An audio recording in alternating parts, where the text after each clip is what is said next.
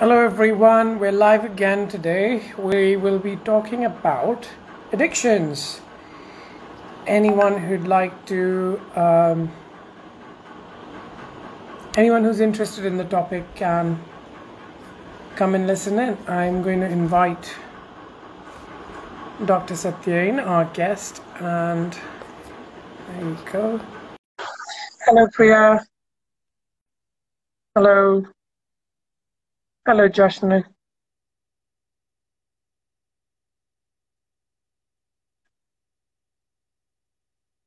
Talking about addiction with Dr. Satyen today.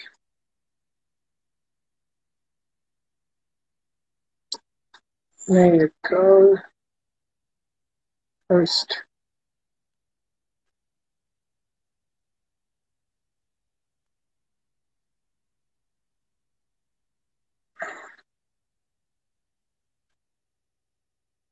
We, there you go.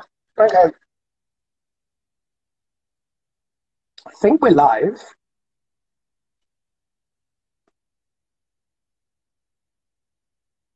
Satyen, I've invited you. Just have to accept my request and then you can come online. I'm going to invite you one more time. Uh, let's see. We're just waiting for our guests to come online.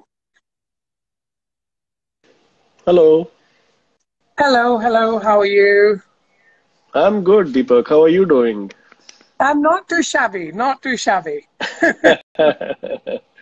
right, right. So, thank you, first of all, thank you very much for joining in. I'm really excited to talk about this topic because I think a lot of people are dealing with addictions and a lot of people are dealing with substance use during the pandemic. Um, so, today, just for everyone to know, we will be talking a lot about substance use. We'll be talking about, um, you know, there, there could be some triggering points here. So Yeah. I just advise people that if you're triggered by anything that we are saying, you can take a little break, you can do whatever you want to do, and sort of recompose yourself and come back if you need to, or not, if if that is something that you need for your uh, mental health. So I'm going to let Dr. Satyen in, introduce himself, and then I will ask him questions, and we are going to be taking questions from other people as well. So, Dr. Satyen, the Right. floor is yours. Please introduce yourself to our audience. Thank you, Deepak. Uh, firstly, I am so thrilled to be here. You know, it's it's a topic very close to my heart. Uh, after I did my post graduation in psychiatry, well, I, I did my graduation from AFMC Pune, uh, and then my PG from uh, uh, Nagpur. My teacher was Dr. Sudhir Bhave there, who taught me the basics of uh, psychiatry, and I'll always look at him as an inspiration and somebody who's taught me so much about life, more important about life outside the books, right? So, and after that, I came back to Punjab. Uh, as you know, Deepak, I'm a, I'm a second generation psychiatrist. My father is also in the same field, and uh, uh, for now more than a decade, almost I think 13 years, I've worked in Punjab. And unfortunately, every psychiatrist who works in Punjab has to see a lot of substance abuse cases. Plus, we, we, we have been describing it as, as epidemic proportions of opiate uh, abuse in Punjab, right? And uh, so that has been my field uh, for the past more than a decade, and and uh, I would say it has it has humbled me as as a person. It has taught me a lot of things. It has taken my cockiness down several notches because you know once you are a doctor you tend to uh, have these airs about you around you that you know you can possibly do a lot and then you Right. you work with a subject like this you work with families and you realize how how how important having the right attitude towards what you are doing is and i have no shame in saying that i have been schooled in more than a decade now i have been schooled into getting the right thought process to this very important and exceptionally misunderstood topic of addictions right? In fact i mean when you when you talked about uh, because trigger you, you, Yeah, this yeah. is really great that you're talking about it in such human terms and not in yeah. terms of like, I am the doctor, I will solve your problems, come to me. It's like, mm. hey, I had to learn a lot about this while I was doing it as well. Yeah. So that's that's really, really, yeah. really uh, interesting. Yes.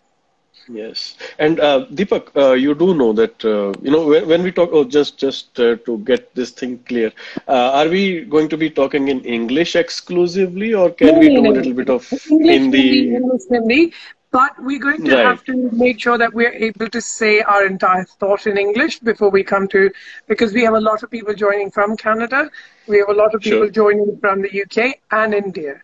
I'm not sure about America sure. yet, but we have people joining us in three countries. Excellent. So, so I will. Uh, th- there are some some uh, emotions which can be best uh, expressed in vernacular.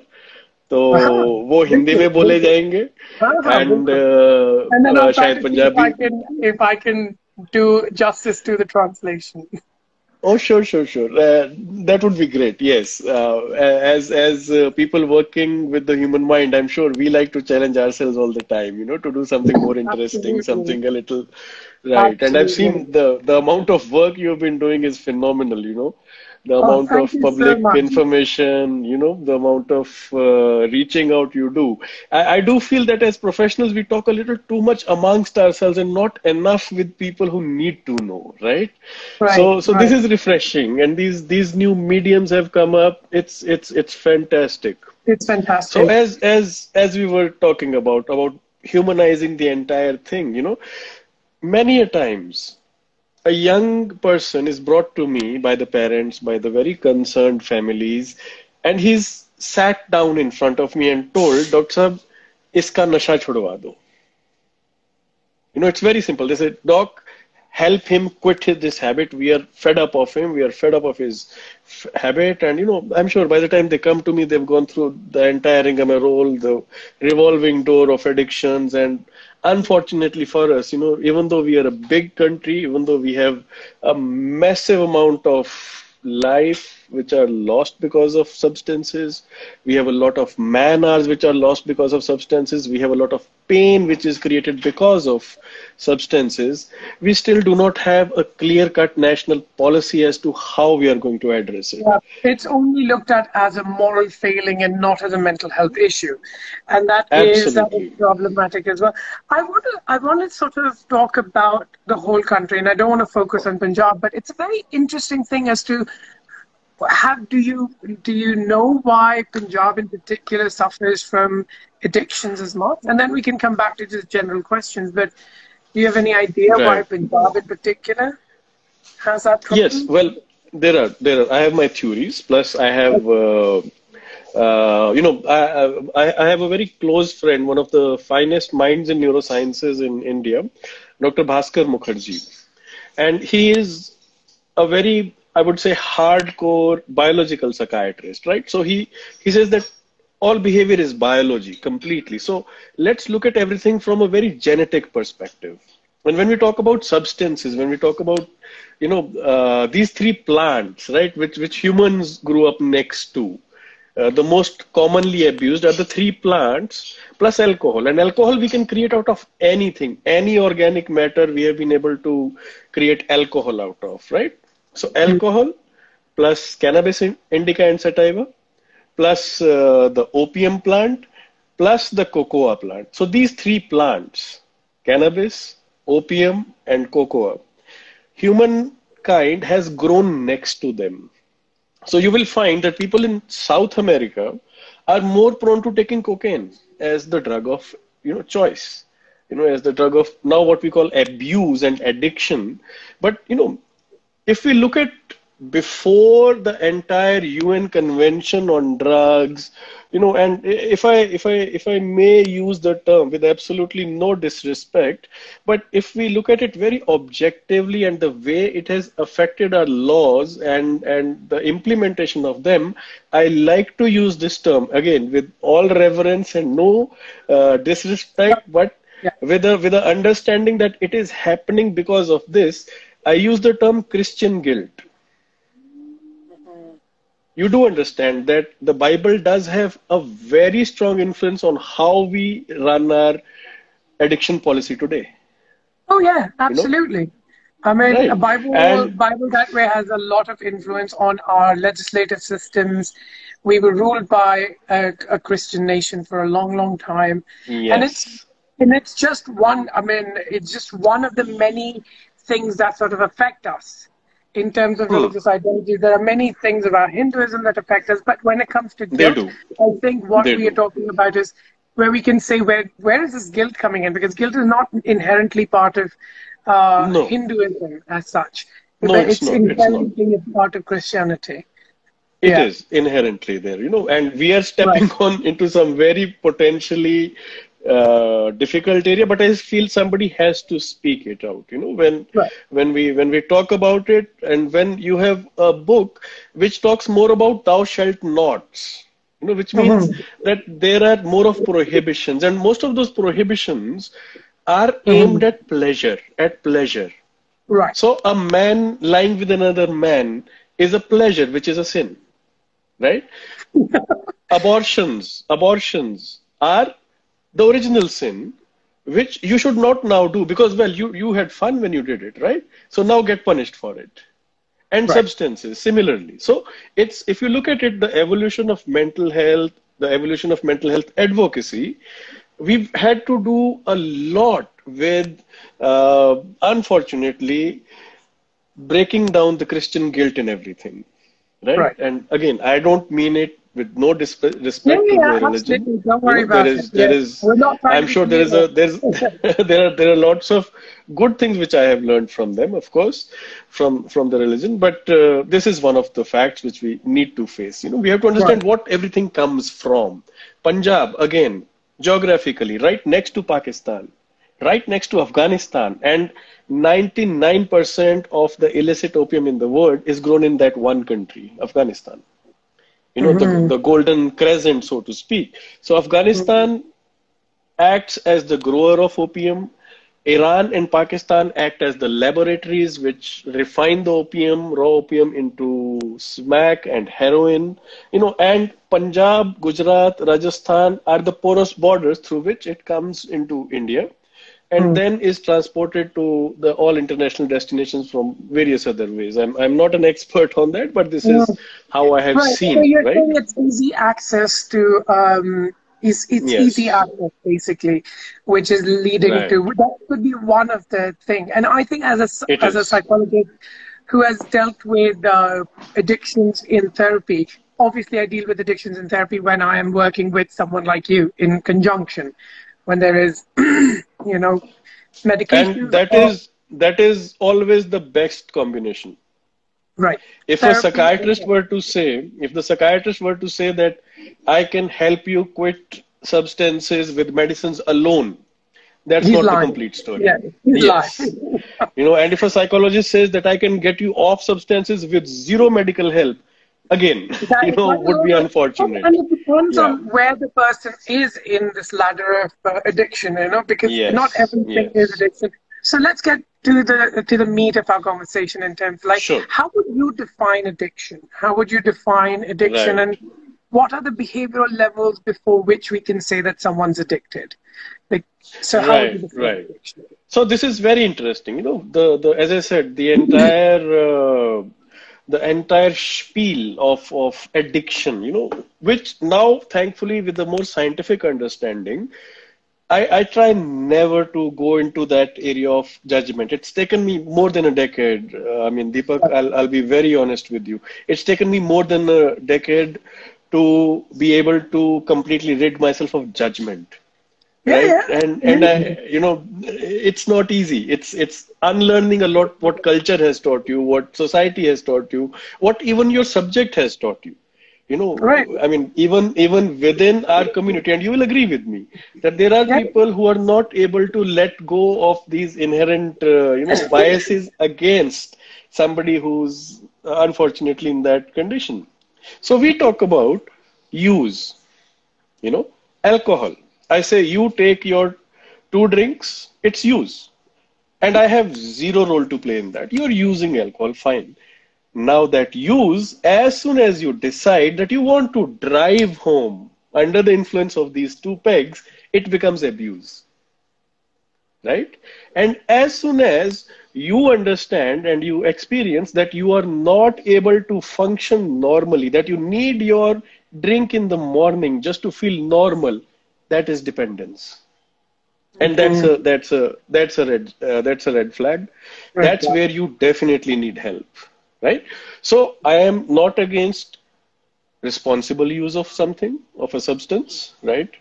I have I know uh, I know that there are substances which are legal, which according to our researchers, according to a lot of scientific evidence, have more harm for the person who's using, more harm for the people around that person.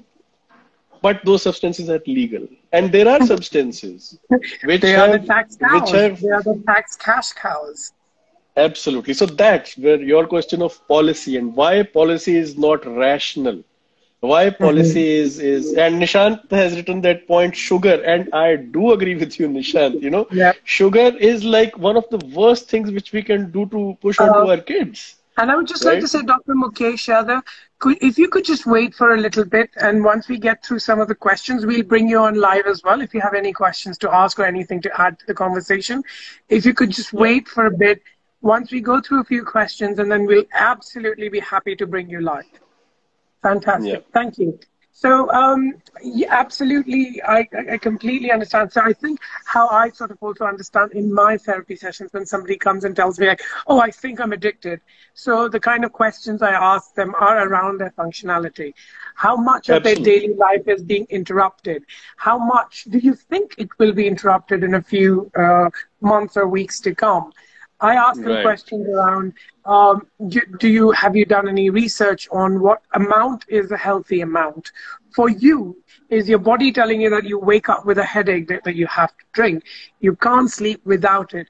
So how I sort of grade it is use, uh, dependence, compulsion, and then addiction. So this is how right. I sort of go about the ladder. And if this is this something that you sort of agree with? Do you want to add something to it? Hmm. So I do. I mean, I mean, generally I do, right? And definitely my milestone is also functionality.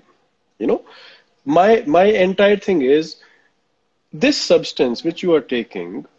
Do you need to take it to feel normal? Yes. And that is dependent. So anything above that, anything above that, for me is something which requires an intervention, right? And uh, you know, like like these days cannabis is is a lot under the focus. You know a lot of people talk about it. And i'm i'm generally now I, I as a, as a mental health advocate i can never say that i'm okay with you using something right? But i will say that it is definitely the lesser of most evils. I will say oh, that it is it is in that. a way you know in a way because as i said you know I, I've, i can i can share researches with you of this british doctor and scientist yeah. who came out with this seminal study on harm to self and harm to others of alcohol and tobacco and cannabis and a lot of other uh, so-called narcotics and substances of abuse and the numbers were so shockingly in favor of cannabis being le- less harmful than the other legal drugs that his yeah. career was completely quashed after that because of you know i really like various... one point that you made i mm. think the point that you've made is hey as a mental health provider, I'm not going to say using anything is just amazing, just continue doing that. No. But what I'm going to say no. is that not every substance is made equal. And just because Absolutely. something is natural, that doesn't mean it's 100% safe. Like there are studies no. after studies that tell you that people who use weed to cope with life, people who use weed to cope with life have less amount of blood flow to almost every single part of their yes. Body. Yes, but yes, yes. their harm compared to alcohol is lower, but that doesn't mean they yes. don't have any harm at all. But Agreed. that's not to say that that's not to say, hey, you should never touch it. You should never. I mean, yes, human beings do all sorts of risky things, but do. do you know where, what the risk is regarding your body? Because if you think that you can't enjoy a party without drinking, Hmm. if you think you can't Hmm. enjoy a social event without drinking, if you, that's when I'm like, you are socially dependent. It's a social lubricant for you. You're socially dependent on that. And I see that a lot in Canada, a lot I in the. Western world, that Yes. there are no parties without alcohol use or without Right. excessive. Uh, we, we call them weekend benders. A lot of people think that Hmm. they're okay if they are just being alcoholic over the weekend. Yep. So, and therein lies the danger. Therein lies the danger. You know, because if it is a one in once in a while thing with you, there is a higher chance of going overboard with it. And and we do see that, you know, on weekends when the number of uh, fights, arguments, number of traffic violations, number of accidents increases over the weekend in, in the Western world, right? Similar things happen in India during festivals right? When people say it's a free for all now, so I'm going to go overboard on everything. You know, we, we need, I, I completely agree with that part, knowledge of what substance we are using and responsible usage of that. You know, I, I, I do belong to probably that, that small group of psychiatrists and uh, uh, I would say a little bit of liberal thinkers who would say that actually there is no need to ban anything. The more we ban it, Yeah. the more we make it make it exciting and you know lucrative for people to uh, you know Right. go out and, and try you're more That's likely to get irresponsible. substances that are not of the good quality. You're more likely to get substances Right. that counterfeit Right. and all of it. See, for example, the way Portugal sort of dealt with their, uh, and we will come back to Portugal as an example, Yeah. is that they dealt with their uh, addiction, their war on drugs in a very different way than every other country do. different. So Very um, different. uh, let's talk about, and we've already touched on this a little bit, but I want us to talk about what are some of the things that one needs to look out for as signs of being on the path of addiction. That I am, my use has become problematic. What are some of the signs that people, Right. ऐसे कौन से signs हैं जो पे- लोग देख सकते हैं कि यार ये हो रहा है अब लगता है कहीं ना कहीं गड़बड़ है मुझे थोड़ा सा मदद की जरूरत है Yes, yes, yes. So, uh, as as you might remember, uh, and one of those mnemonics which we used in the alcohol uh, dependence is the CAGE questionnaire, right? So, the CAGE questionnaire is an acronym with four letters C A G E. So, C being have you tried to cut down on your alcohol use, you know, by feeling that maybe I'm going over, I need to cut down. Uh, the A is uh, um, uh, I'm forgetting it out now. I'm, I'm come back to it. The G is the guilt. Do you feel guilty of using something? You know, and the E was the eye-opening drink, right? Do you need uh, uh, a shot of alcohol early in the morning just to feel yourself, just to feel normal, right? Uh, C A G E. I I have a few psychiatrist friends who are who are right there, and they might help me out with the A part. you know, that happens to us all the time, right?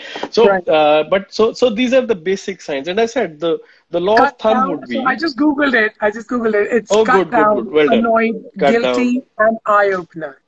and eye opener, right? So that is the traditional way of understanding alcohol. But every substance, as you very correctly mentioned, is created different. We have to look at it differently. And so for me, opiates and and uh, synthetic, uh, you know, amphetamines and things like that would remain. Do not even try category, right? Because of the danger of them producing physical dependence right? Uh, cannabis, why is it better? Is because there is no physical dependence per se. There's only psychological dependence, right? Opiates. Now, now, if you're on the entire group of opiates, which right now is sweeping across America, which right now is sweeping across most Asian countries, and is the biggest cruise, the biggest life taker. You know, because because you must have heard of it, right?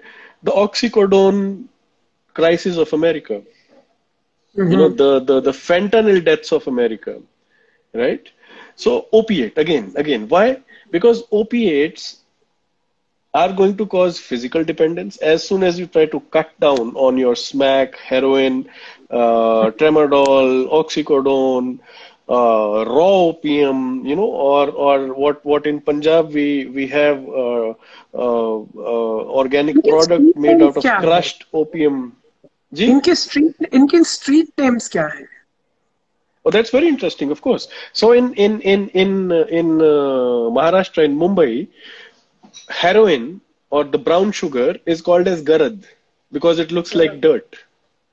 Garad, right? Mitti, garad. In in in Punjab, uh, raw heroin is called as chitta, white, Chitta the white powder, right? The white powder, right? Oh. Afim is is Kali Nagini. It's it's the black uh, snake, the black enchantress, right?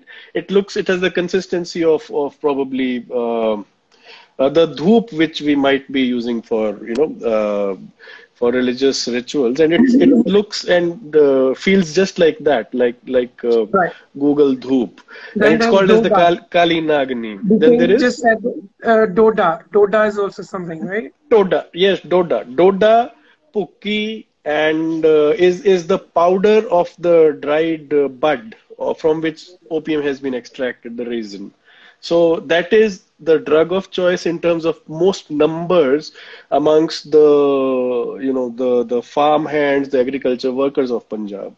So Bhukki, Afim, and uh, now Chitta. Those are the scourges of our part of the world, you know, al- along with alcohol, of course. Very, very, very, very interesting.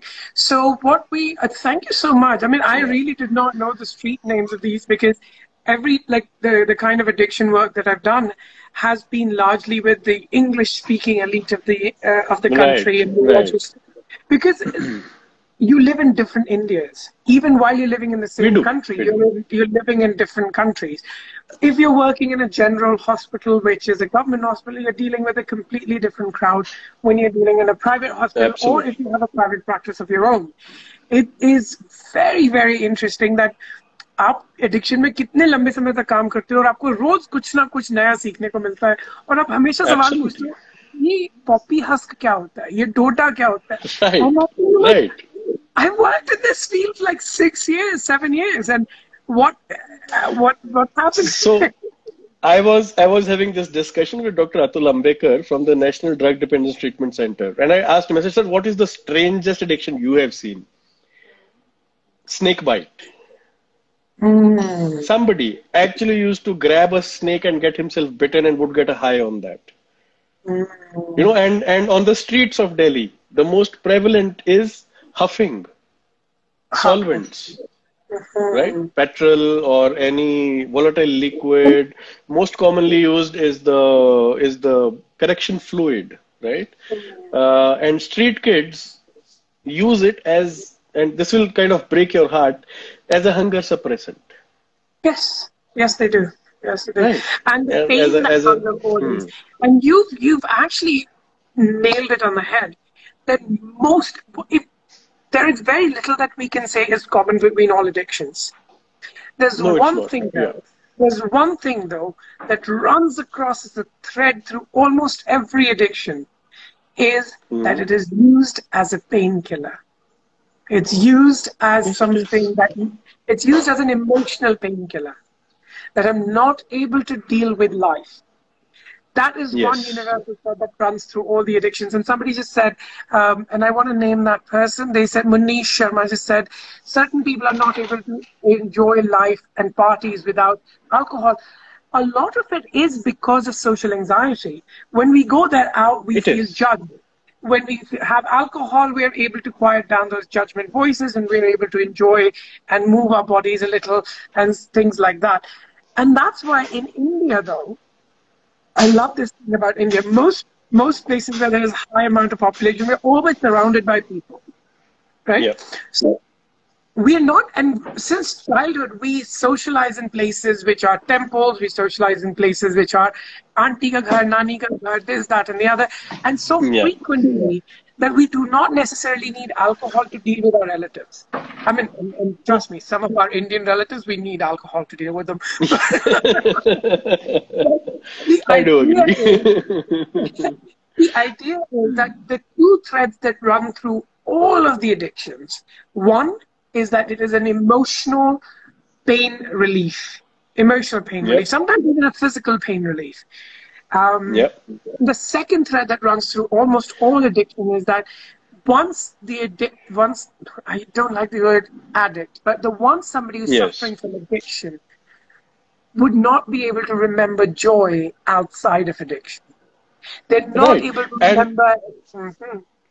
and and and there's a very important reason for that you know the pleasure pathway.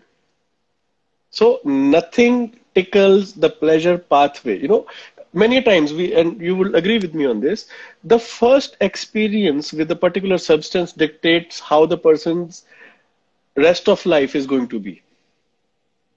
If the first experience was was you know absolutely out of this world you know it it, it, it gave you so much pleasure you know so so as as Bhaskar likes to put it he says it's a fight between the hedonic drive the the the move the the need for pleasuring oneself versus the society's uh, you know rules and laws of this is not right and probably a certain amount of rebellion against that Exactly. right right A friend and of mine of course is actually yeah. yeah No, no, go on.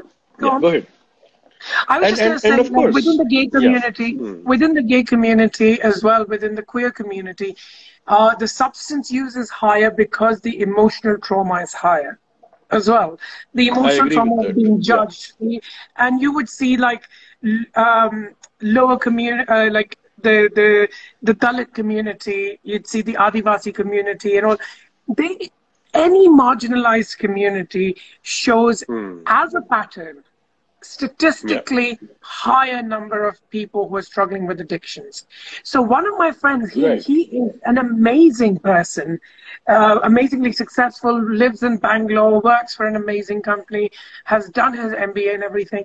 And when I was talking to him, obviously I won't name him, but the first time I was talking to him, I was like, how did you feel when you took ecstasy for the first time?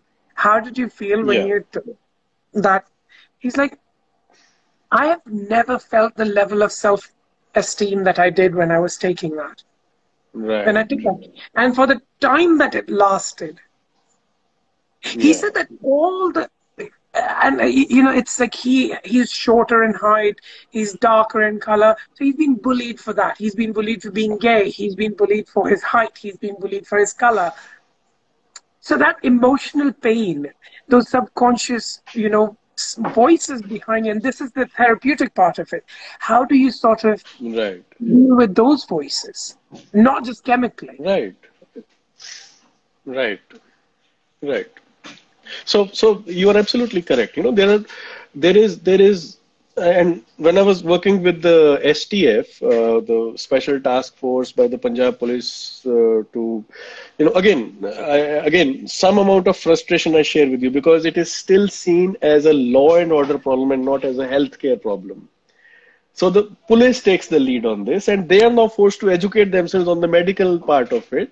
You know, uh, you know when when the Portugal example has clearly demonstrated that it's investing in community, investing in positivity is what you need. And and let me let me quote this as at at at uh, the danger of being repetitive, but yes, the opposite of addiction is not abstinence. The opposite of addiction is connection. Exactly. Exactly. Right. It's when you feel so disconnected with everyone you love and everything you love. And you feel Right. disconnected with joy. You feel disconnected and you do not remember feeling that outside of your addiction, outside of your use. And it's it is I would I don't want to use the word sad, but it is very, very problematic for that person. It's Yes. very um, and, and, and Deepak, it is the human condition. You know, yes. some of some of the best psychiatrists I know, you know, and I respect, they say the the best way to understand psychiatry or psychology is to try and understand addiction. You know, nothing will teach you more more humanity, more humility, and more you know understanding of the human oh. condition than understanding oh. addiction. I Right? totally agree with that. I have been Yeah. a therapist for over 11 years now, but I started Yeah. dealing with uh, clients with, struggling with addictions and substance use and even behavioral uh, dependencies only seven years ago, six or seven years ago, three years into my um, um, my practice, and I realized that, oh my God, I really am able to look at psychology in such a different way. It's not the Right. same. Right. Let's move on to our next question. Are some Sure. individuals and communities more likely to struggle with uh, a depression and addiction? Absolutely. As I said, see, I am again going to use a cliche which I like to use a lot.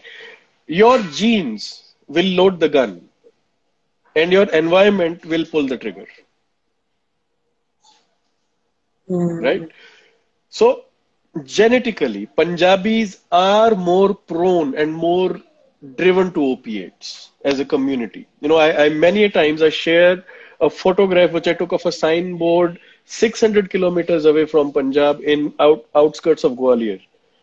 And it's written, ਅਫੀਮ ਡੋਡੇ ਭੁੱਕੀ ਇੱਥੇ ਵਧੀਆ ਮਿਲਦੇ ਹਨ fresh and good quality opium and you know cannabis uh, sorry not cannabis opium and uh, poppy husk is available here raju the top this i'm talking to, to 2010 when you know we had not really started the war on addiction in a more uh, uh, at a more national level right?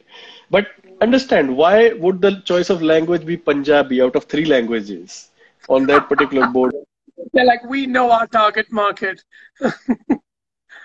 um, yeah, they're like, we know our target audience. We know whom we're talking to, right? So Totally. that's why Punjabi. ਸਾਨੂੰ ਪਤਾ ਹੈ ਆਪਾਂ ਕਿਹਦੇ ਨਾਲ ਗੱਲ ਕਰ ਰਹੇ ਹਾਂ um, Right. okay so what are the major substances uh, people are using in India do would you Yeah. like to comment so, on that so there, there have been, uh, thankfully, the National Drug Dependence uh, Treatment Center has done uh, surveys on a national level, and they have gotten some hard statistics because in India we are very poor at creating reliable data, right? But it turns out that alcohol remains the number one culprit overall of lost man hours, bad relationships, people losing lives, accidents, uh, financial and social cost of addiction. Maximum number one would be alcohol. And hmm. it does not in any way mean, and please mark my words, it does not in any way mean, in any way to be misconstrued to mean that prohibition is the answer. Absolutely not. education Bihar, and compassion is the answer. 100 and connection completely that we need to educate people especially politicians and policymakers on the dangers of prohibition i'll share and rehabilitation programs, uh, rehabilitation programs to have genuine connections. absolutely. Absolutely. You know we we need to address addictions normalize the talk on addictions and give these people connections. They are they are not anywhere different than us. Of course not. It's just that see deepak let's be very honest here. When did you try your first cigarette? I've never had a cigarette. and never even yes. tried one Well, no, I actually I think the first time I ever smoked up weed was uh, when I was 31, I think. oh But that's You are late also like in a party. They were just passing it around. I was late to the party. I was figuratively late to the party. you are a late bloomer because in India and especially in Punjab, the age at which my generation was offered the first cigarette as a sign of rebellion in school. I was in class 8, I remember very clearly. We went out on a trek, me and a close friend of mine, we tried a cigarette as our first sign of being, you know, adults, you know. but the same age right now is the one which is being offered a hard opiate. I you you said something really interesting there. Hmm. I think a lot of and an overwhelming majority of people are struggling with addictions are men, Yeah. right? I think somewhere our understanding of masculinity, of mardangi, of what Yes. men need to be like, of how they shouldn't talk about their opinion, uh, feelings, and how this toxic understanding of masculinity that I have to be in charge, I have to be the provider, I have to be the alpha, and I have to be dominant. I think that in my experience of seven years, I think it adds to it 100%. It adds to it definitely. What do you think? Hmm. So, good observation, Deepak. I think that's excellent. And you do you do you know the prototype Bollywood hero how he deals with the frustration, loss, or anything? Boom, boom, like he just beats up people, right? And and and he walks into the closest bar and picks up a drink. Yeah. Yep. Right. That's how men deal with uh, emotional distress. They don't talk to a friend. No, they don't. Men don't talk about it. They, they, they need to be these toxic masculine examples of strong, silent prototypes of, uh, you know, unfeeling stones who just go take a drink when they when it gets too much. So we don't have really good good models of dealing with stress, dealing with life. Exactly that जाके जैसे And, बहुत कम होगा कि अगर आप stressed हो तो जाके किसी के साथ बात करो किसी किसी का हाथ पकड़ो किसी से मदद मांगो एक्सरसाइज करो go out for a run right exactly i have no yeah. this exercise is a very important thing i've seen people turn their lives around using only gyms yes turn their lives around completely by using gyms in a way which is just it's it's amazing to see the amount of difference people can make to their lives when they start exercising. And I'm not trying to understand again this toxic ideas of uh, muscles and this, that, and the other. Is it yeah. it's the understanding of activating your body enough to produce serotonin in your body? Yes. Right. Yes. yes. So um, we have a question for you which is coming from Tanya Sachdev. The question is, how far is this a fact that if you were saved from addiction in your teens and early adulthood, you are saved from addictions, period? Yeah, okay. I think I get the gist of it. It's a very good question. And uh, so, uh, Deepak, I think uh, uh I'll, I'll, tell you something about uh, the current project I'm doing. I'm, I'm writing a book of my experiences with addiction in Punjab. You know, a list, a, collection of short stories, and and this is one of them. This exact thing. So this this uh, person in his mid forties walked into my clinic and said that, "Doc, I have a opium dependence, and I'm traveling abroad, and I would want to get rid of it before I travel abroad. You know, traveling abroad is a big incentive for people to." give up uh, substances in Punjab, in my part of the yeah, Canada, of course, but this particular one was going to going to the UK, right? And Canada, of course, of course is, is, the, is that's different from Punjabi. so, uh, so he was in his mid forties, and I said, okay, uh, part of the routine investigation, and I'm asking him, how long have you taken it? And he said, uh, Doctor, three years. And that was a surprise because people generally do not start on a new substance after 40 usually it doesn't happen. You know they, they of course there are there are people who would switch from one to the other to the third to the fourth to the fifth right? But generally starting a new addiction after 40 is relatively rare right? But that is where the role of culture and your the company you keep becomes very important. Again i'm going to say something which is going to offend a few people because the answer i got was, Dr. Saab, I had joined the Shiromani Gurdwara Prabandhak Committee. And he left it at that, as if that was by itself a, enough of an explanation as to why he would start opium. And again, you know, I, I find that the peer groups, which, and again, right, I'm, I'm, I'm not, not trying to pass judgment on it because I'm sure that there were times when every warrior in North India would have to carry opium with him it was the only painkiller known to them. Yeah, and and and and the way to deal with PTSD when you're killing so many things at so many people, and you, uh, you see a lot of the loved ones being killed as well. So right. that would be. So morphine, which is extracted from raw opium, is the strongest painkiller known to mankind. Yeah. And at that point in time, you you are you have a tough life, you have a hard life. It was part of your culture, and I can say fairly acceptable, you know. But to in this day and age to not grow up and understand that everything which is good and desirable in opium we have already extracted in the form of medicines. There are a million other ways to give your mind pleasure. There are you know a thousand other ways to feel good about yourself. That that education and that culture that sense of community is missing. Right. So what what is if if I think one of the the question was aimed at I think by a concerned parent as to how do I keep my kid off drugs? If I put him through this tough part of uh, teenage years, is he safe for life? I think that was what the unsaid question yeah, was. If, you if, your brain's not uh, if your brain's not hijacked by uh, external yeah. chemicals eh, uh, yes. in early on in your life, are you more likely to be spared later on? The yes. short answer is yes, but not yes. really. The short answer but not really.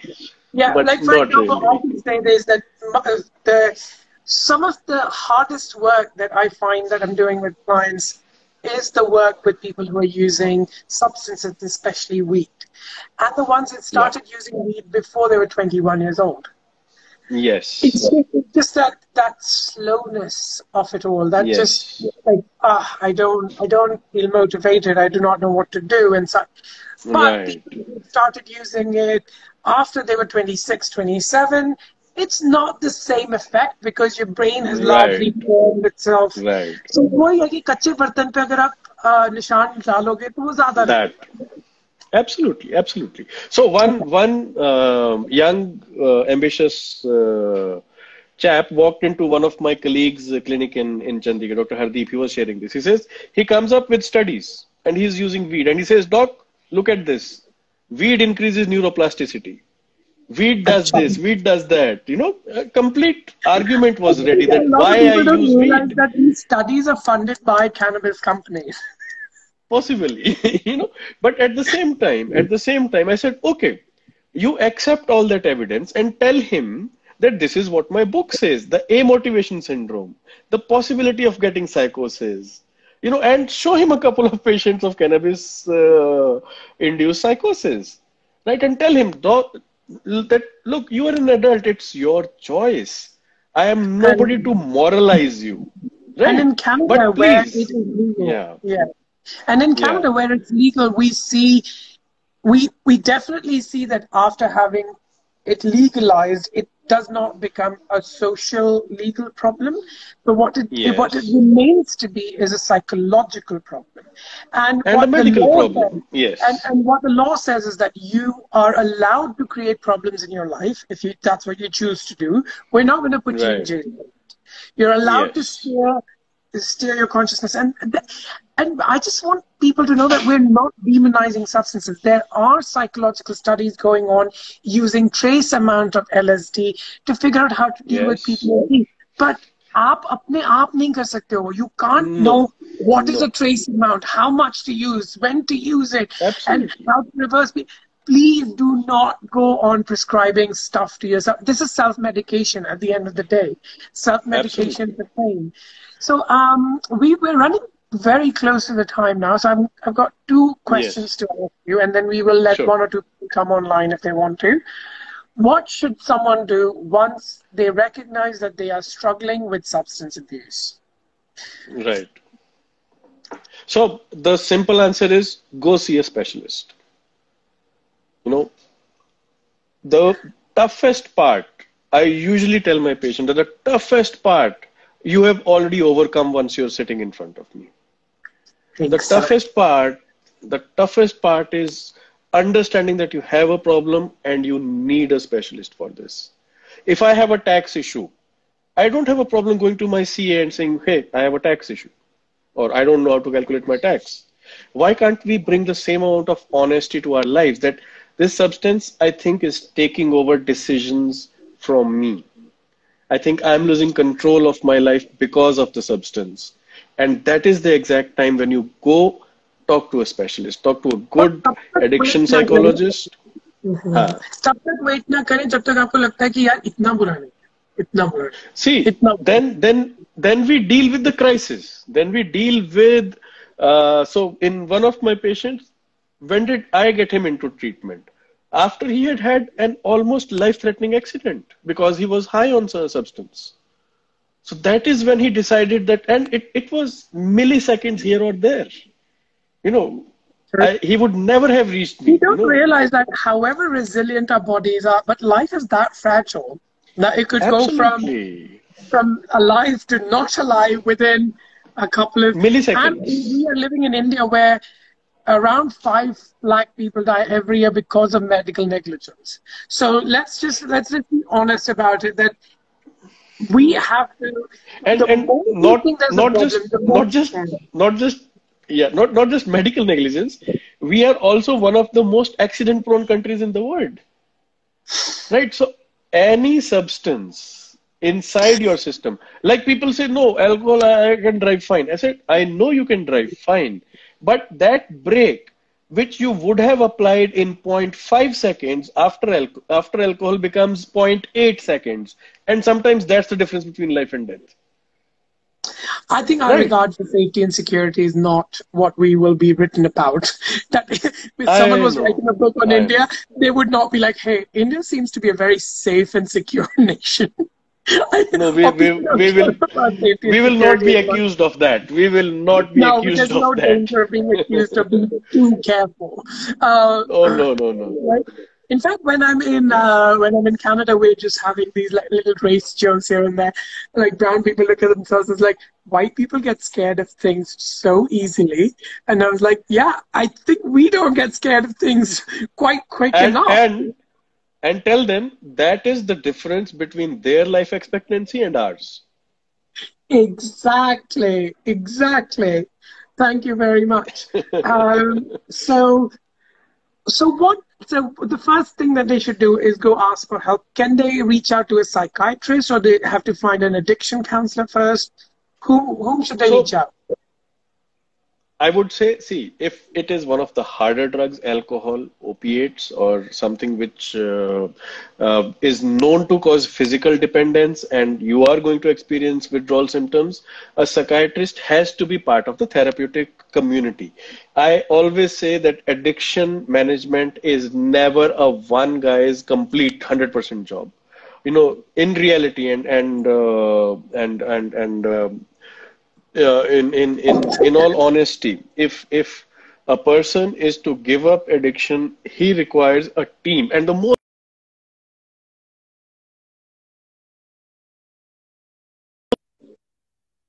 because वहीं से the connection आ रहा है yeah okay right and um, and then huh, go ahead please no no no i'm i'm waiting for the third step Oh, right. So, uh, so uh, first step would be uh, build an emotional community of yours. People you can talk to honestly about your addiction, about your problem, right? About, Go to a specialist. Yes, and people who are there for you, right? Your your 2 a.m. friends, you know, those people. You need them. You know, your your immediate family, significant relationships, definitely have to be part of it. And then definitely please get a good psychologist and a good psychiatrist together either or would become a chicken yeah. and an egg uh, debate. You know it's it's really not uh, relevant because a good psychiatrist will automatically have a psychologist on the team. A good psychologist would want a psychiatrist on that uh, therapeutic team, i hope right? you're going to be on my team now dr satyen. We, oh i'll be i'll be i'll be i'll be pleased of course except that my prescriptions unfortunately don't work in canada That's okay. You, you'll be there for my uh, Indian clients, but you know what? I can be there for your Canadian clients and your Indian. Oh, any day, any day, uh, any day. but, um, no, uh, I mean this is this is really really interesting. But remember, this is this is the thing that we say within the community of mental health care workers. Yeah, pills will make you will give you chills, but will not give you skills. It will not give you skills how to deal with stuff when you're chill with the, you know, you'll be chilled for a bit with your pills, but you will not know how to deal with life just right. in and off themselves, uh, in and off the pills themselves. So, right. what are the major resources one can reach out to and for when they're struggling with addictions? And then we will take one or two people online and then we'll call it a day.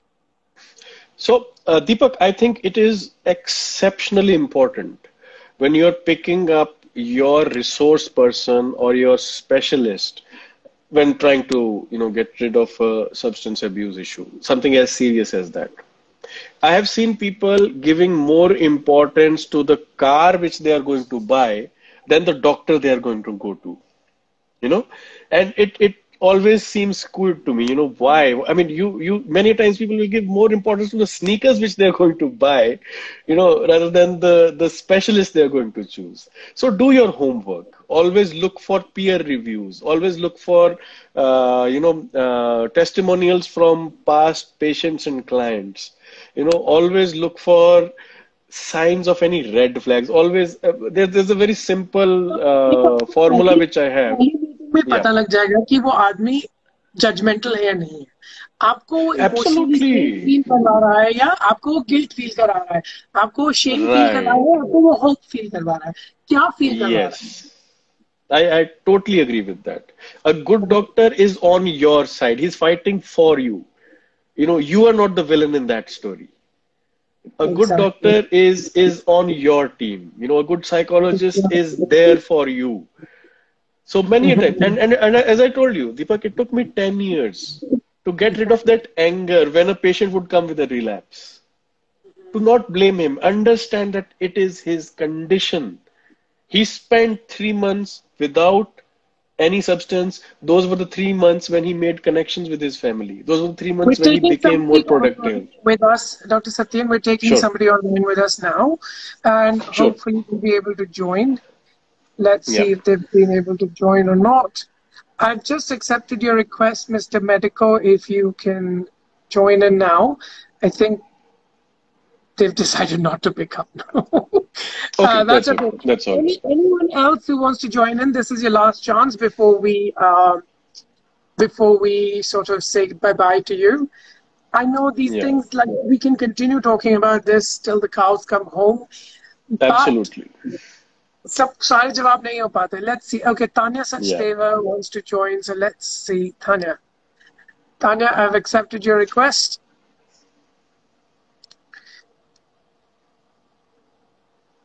okay there you go Tanya hello hello hello I'm from hi Tanya hi hello doctors uh, I've been listening hi Tanya can you just say uh, can you can you just say your name and where you're calling in from Uh, my name is Tanya Sachdev and I'm from Delhi, India.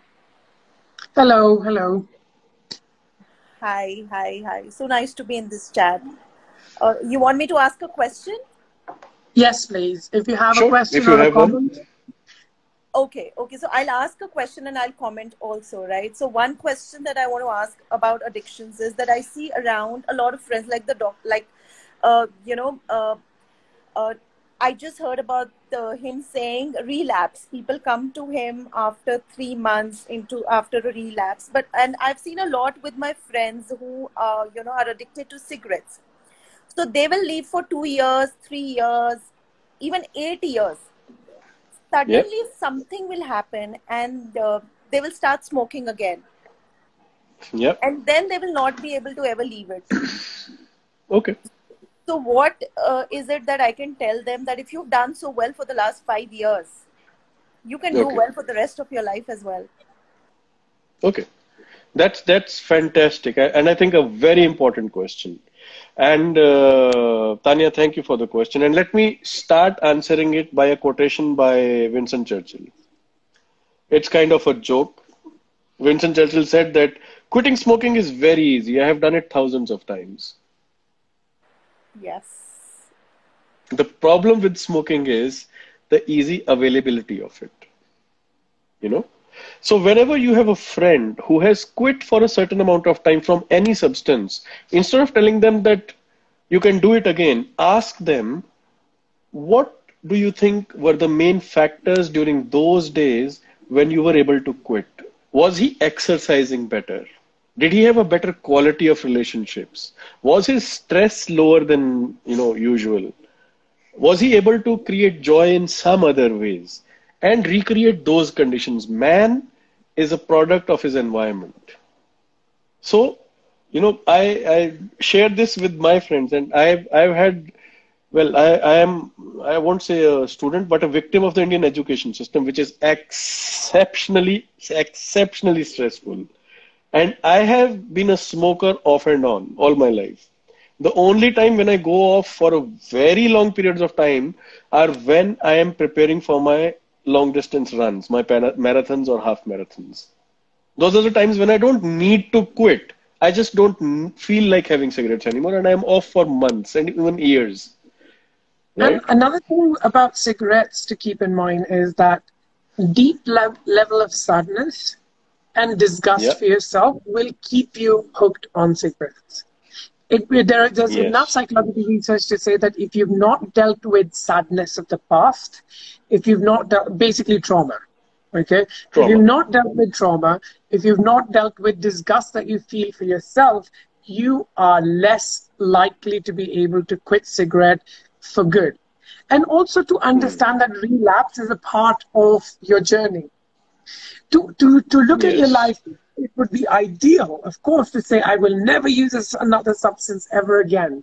Or to say, mm. I have enough skills that if I ever use a substance again, it would only be for recreational purpose and for a very short period of time, and I'll get back to not using it. That this is that these are two world uh, worldviews. One is absolute yes. The other one is sort of tapering it down, titrating it. So one is titration, one is abstinence, complete abstinence.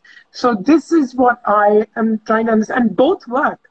We in Canada we have a yeah. lot. Of, I don't, I'm not sure about uh, that about India, but in Canada we have two different, two specific different kinds of, uh, uh, you know, addiction centers, the addiction centers. One is absolute abstinence, yeah. and they're largely religious in nature. The other ones are, uh, you know what? Let's do harm reduction. Let's do how right. much harm can we? Harm reduction is an absolutely amazing, fantastic, and helpful concept in de addiction to be looked at as like, I'm not a total failure if I've relapsed. Yes, yes. So, Deepak, and these two schools of thought are there within the entire addiction management community worldwide. These are the two schools of thought, and more and more evidence is shifting to the harm reduction one. You know, to to to quote uh, Amitabh Bachchan from Sharabi, कि कसम मत खाइए कस्में टूट जाती हैं कोशिशें कामयाब हो जाती है right? कसम मत so, कोशिश कोशिश करो that's it that's it you know and and I, I take it as a life lesson it, it really works very well you know for your friend just that one compliment that today you did not smoke after dinner you know you went out for dinner with friends and just this observation that today you did not smoke after dinner and i really like it i think you know that you are strong enough without it and i like you better I, have I've noticed that i like you better I, when you I are love, i love i love the compliment yes. you give that i like it and you are making the compliment strength based and not label yes. based not Absolutely. a compliment shouldn't be like hey you're very good today oh so when i do it i'm not good so that's not exactly. the compliment The compliments yes. that we're trying to give is always strength-based compliment. Oh, yes. Today was a good day, eh? So the day was good, and you were able to show a lot more strength as opposed to yeah, you were good, and you were yes. bad, and right. things like that. That very that that yeah. fine that nuance is important Absolutely, absolutely, and that's okay. what, what what my struggle is. Many times with families I tell the families that, you know, both the person who's using and the family, both of you have a pattern now. आप बोलना बंद नहीं करते कि शराब छोड़ दो वो कहते हैं ये बोलते इसलिए मैं छोड़ता नहीं हूं you get it it's it's a toxic cycle always addiction is never one person's problem. It is the community it is the environment around him. Everybody will need to make those adjustments. Friends have to create that atmosphere where he feels proud and better of being smoke free create more positive activities right? And that is the only way to to work it out. Addictions need a human touch never a dictator's touch never you cannot you cannot scare somebody out of addictions. You yeah. cannot threaten anybody out of addictions. But positivity we underestimate. The power of love we underestimate.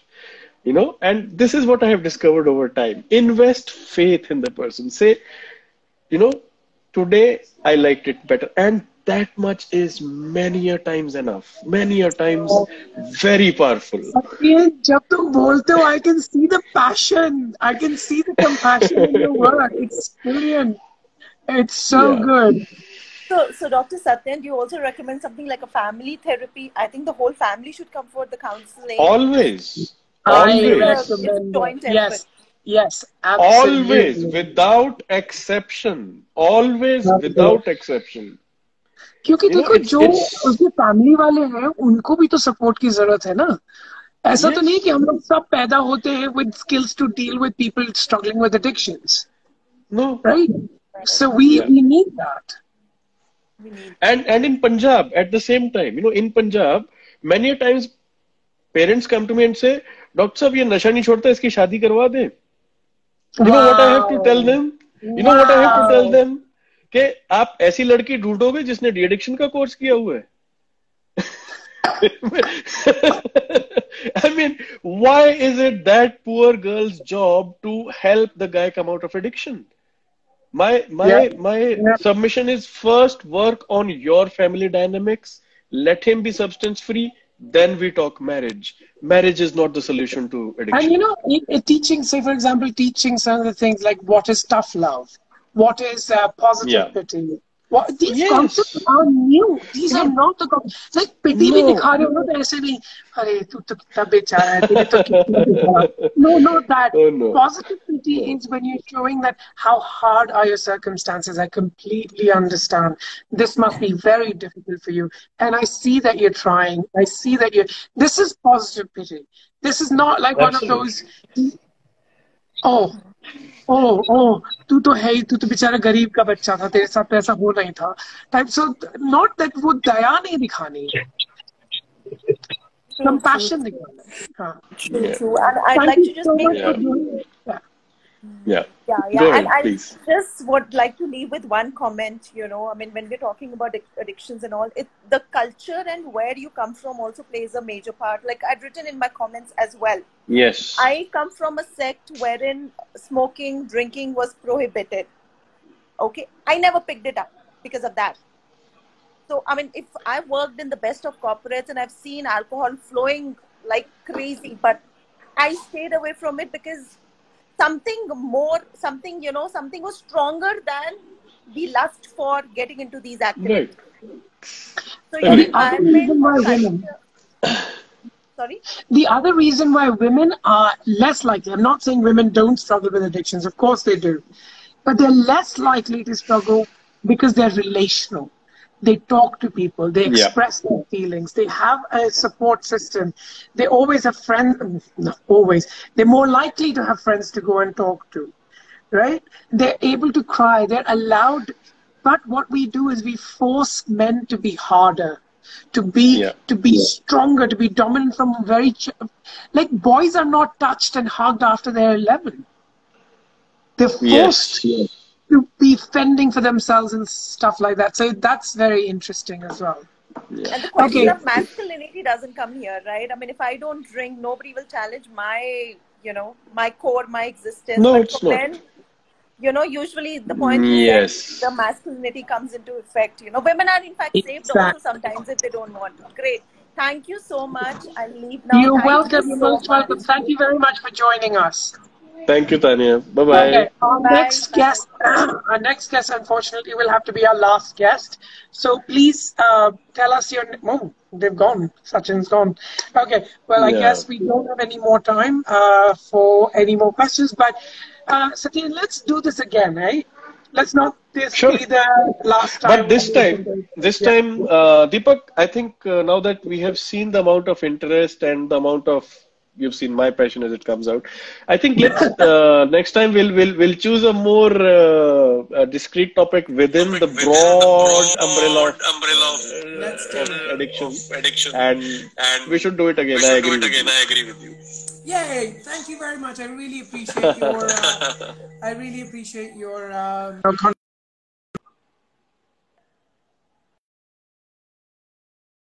Yeah. Okay. Thank you very much, Dr. Satyen. I really, really wish you have a lovely evening and we'll connect with you again. And I'm definitely uh, sending some of my clients your way. I'll be glad to help in any way I can, Deepak. Thank you so Thank much you. for having me. Bye bye. Thank you all. Bye bye.